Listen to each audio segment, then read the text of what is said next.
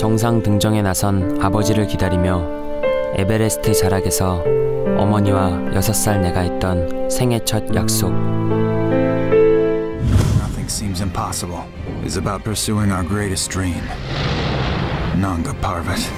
Right home!